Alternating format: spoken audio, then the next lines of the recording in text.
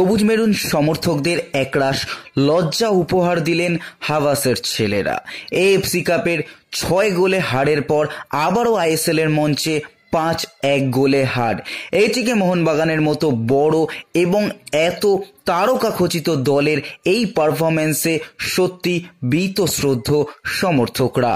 পাঁচ এক গোলে হারের এই ম্যাচে মাত্র একটা শুট অন টার্গেট বল মেরেছিলেন, সেটাও ডেভিড উইলিয়ামস পরবর্তী হিসাবে নেমে। রয় কৃষ্ণা, হুগো বুমোসদের রীতিমতো বোতল বন্দি করে রাখল মুম্বাই সিটি এফসির ছেলেরা।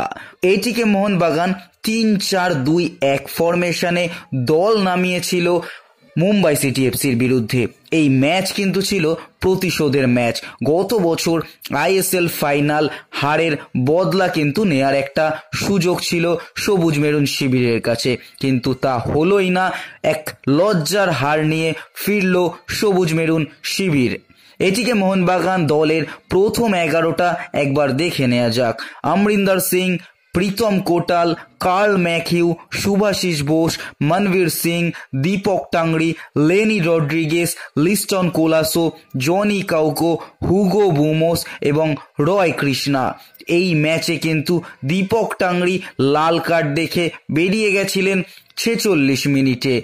প্রথম গোলটা কিন্তু আসে চার মিনিটে বিক্রম প্রতাপ সিং এর পা থেকে। তারপরের গোলও বিক্রম প্রতাপ সিং পঁচিশ মিনিটে তারপর ইগর অ্যাঙ্গুলো আটত্রিশ মিনিটে, মুরতাজা ফল সাতচল্লিশ মিনিটে, বিপিন সিং বাহান্ন মিনিটে এবং ডেভিড উইলিয়ামস নেমে একমাত্র গোল করেন ষাট মিনিটে।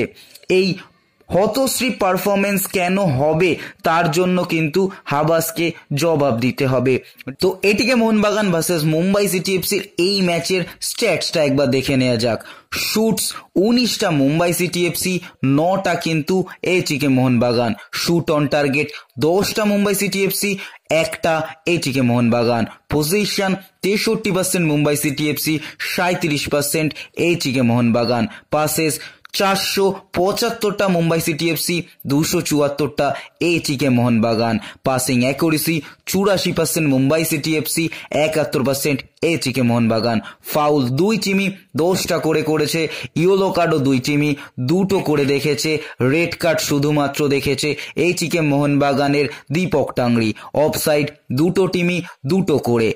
কর্নারেও এগিয়ে মুম্বাই সিটি এফসি চারটে কর্নার এইটিকে মোহনবাগান দুটো কর্নার। রীতিমতো ডমিনেটিং ফুটবল খেলে পাঁচ এক গোলে হারিয়েছে এইটিকে মোহনবাগানকে গতবারের চ্যাম্পিয়ন মুম্বাই সিটি এফসি তো দেখা যাক পরের ম্যাচে ঘুরে দাঁড়াতে পারেন নাকি হাবাসের দল। এবং হাবাস কি বিবৃতি দেয়? অবশ্যই শুনব।